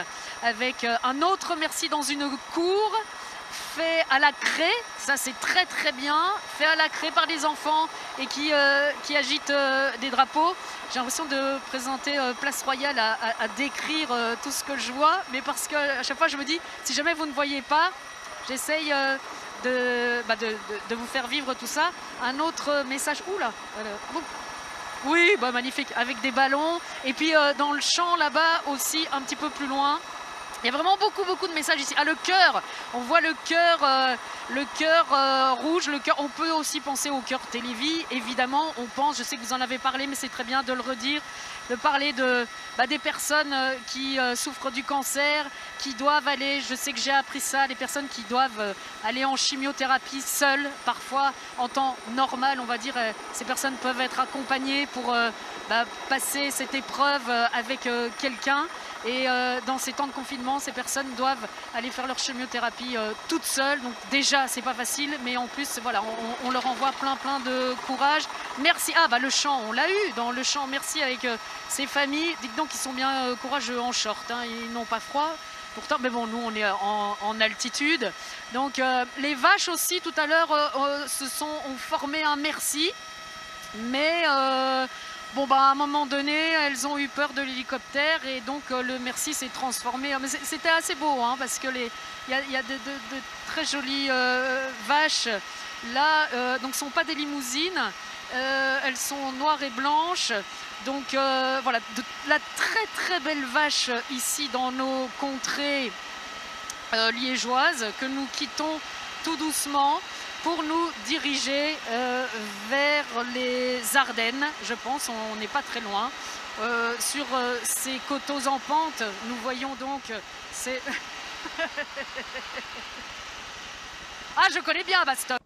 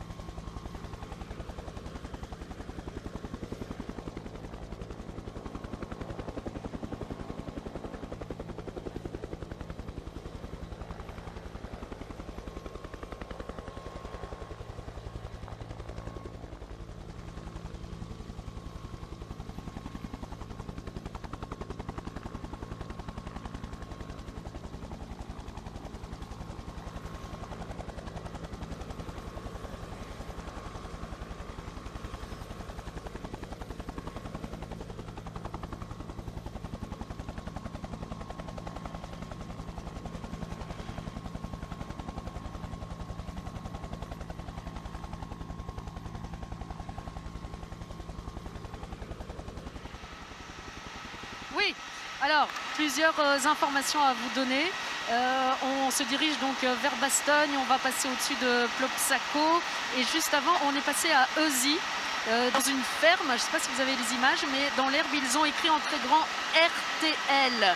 Donc c'était très sympa, on est passé au- au-dessus d'eux. Vous l'avez vu Ah bah c'était- top. Euh, petite information parce que je discute, euh, comme je suis totalement à l'aise maintenant avec euh, le commandant. Donc avec un petit vent dans le dos, on est à du 230 km à l'heure. Et puis euh, on a fait, co- comme on a vu le RTL écrit en, euh, euh, en grand, mais c'est, même si on a euh, un, un plan de vol, une feuille de route assez précise, c'est pas toujours évident de voir ce que vous nous avez euh, écrit comme message dans, dans les jardins. Parfois un demi-tour et là on était euh, si c'était une voiture on était sur deux roues vous voyez donc j'étais complètement euh, au-dessus euh, au- de l'hélicoptère et voilà ça c'est quand, on, on- on donne on, a confiance ou, qu'on montre qu'on est en confiance alors du coup le pilote Thierry, eh ben, voilà, il a fait un petit, un, un petit 180 degrés sur le côté. C'était assez plaisant. Mais pas deux fois, commandant. Pas deux fois. Attention, hein. Il n'y a pas d'hélice hélas, c'est la Kélos.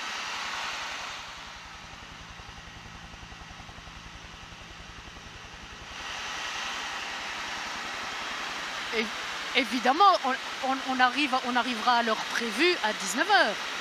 Oui, oui, oui, mais bien sûr, bien sûr. Je crois que j'allais me faire engueuler, donc vous avez bien fait de me parler. Parce que là, euh, normalement, j'ai pas le droit de parler comme ça au commandant. Je suis désolée. Ah, il va me déposer là. On est au-dessus des forêts ardennaises.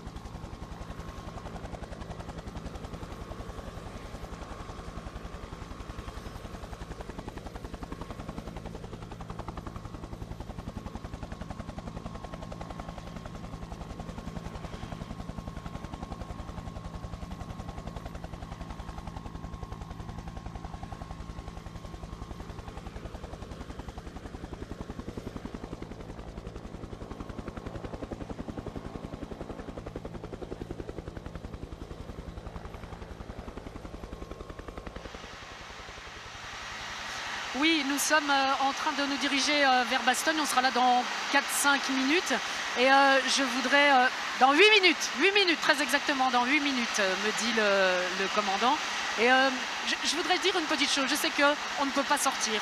On ne sait pas quand on va pouvoir sortir. On ne sait pas si cet été, on va pouvoir partir euh, en vacances et même dans notre propre pays. Mais pensez à plus tard. C'est vrai que ça fait rêver de prendre l'avion, de prendre les airs, là, comme moi, et de partir très loin vers euh, d'autres contrées. Je sais qu'on l'a déjà dit, mais c'est bien de le redire. Notre royaume est gorgé de superbes ressources et de superbes paysages avec un tout petit rayon de soleil. Là, je suis passée, j'ai été émerveillée alors que c'est pas très loin de chez nous. La Belgique est pas très grande, on le sait. Il y a des endroits superbes et j'espère que euh, grâce à cette émission, grâce aux images qu'on a pu vous fournir depuis cet hélicoptère, on vous a donné envie de découvrir peut-être encore plus notre pays. Ça paraît bateau, hein, euh, ce que je dis, même si je suis dans un hélicoptère. Mais euh, franchement, je, rigole, mais il y a vraiment des super beaux endroits. Euh, ça va vous émerveiller. Ça vous fera découvrir le pays, à vos enfants aussi. Ça fera vivre aussi euh, ben, notre tourisme, notre économie. Il faudrait peut-être penser à ça aussi. C'est vrai qu'en ce moment, on se dit, tiens, il y aura un après euh, Covid-19, un après coronavirus, mais il faut le dire maintenant, mais il faut le penser et, plus tard aussi, et se dire, ah bah tiens, voyons peut-être un petit peu différemment les choses. Je ne suis pas moralisatrice du tout, du tout. C'est juste que je voudrais vous faire partager euh, bah, ce que j'ai la chance de pouvoir euh, voir, ce que vous pouvez voir à travers euh, ces images. Et notre pays est drôlement beau. Et si vous avez besoin de faire des kilomètres, ben, faites-les à pied aussi. Pourquoi pas On pourrait partir à pied avec... avec no- notre sac à dos et, et, une tente et des plaisirs simples. Mais franchement, vous allez pouvoir voir de très très belles choses. Là, je suis dans les forêts euh, ardennaises. On va euh, se diriger vers euh, Bastogne, vers la maison de retraite où nous attend Jacques Van den Bigelaar. Et pendant ce temps-là, on s'émerveille de ces superbes paysages.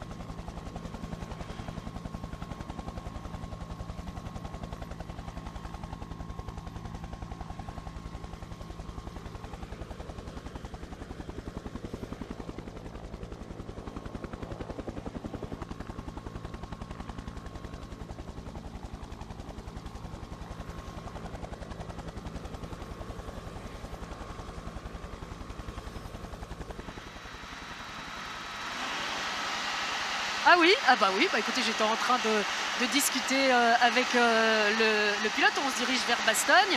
Bastogne, bah, euh, une contrée qui me tient particulièrement à cœur.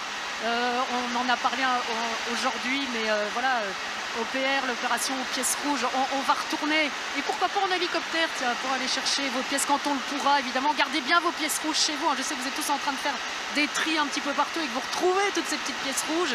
Et euh, pourquoi Bastogne? Bah, Parce que depuis le début, il y a euh, Jean-Pierre euh, Ludgen avec ses, ses tirelires bah, qui, nous a suivis. Donc Bastogne, c'est ça. Et puis je discutais avec le pilote. J'ai eu la chance et, l'opportunité de faire les boucles de Bastogne il y a quelques mois. Grande aventure aussi.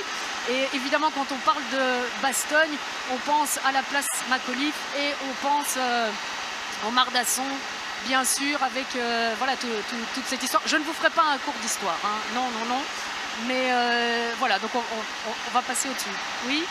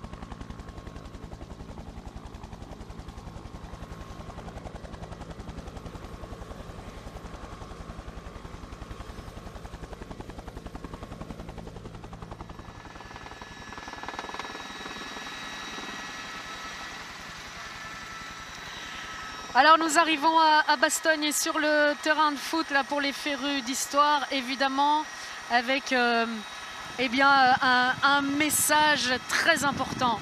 Nuts Covid. Merci. Vous le, vous le voyez comme moi.